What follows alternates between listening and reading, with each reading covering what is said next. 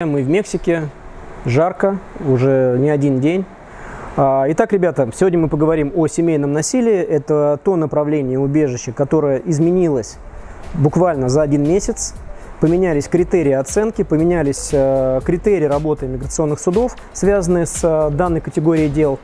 А, возникает семейное насилие в странах Средней Азии, бывших странах Советского Союза. Это в отношении замужних женщин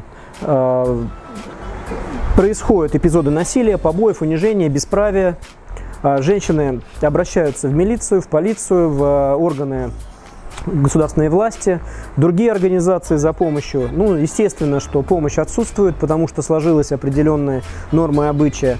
А, женщина вынуждена обратиться, обратиться за убежищем в США, потому что здесь ее совсем затравили, она стала изгоем, такое очень часто бывает, и у нас такое тоже было.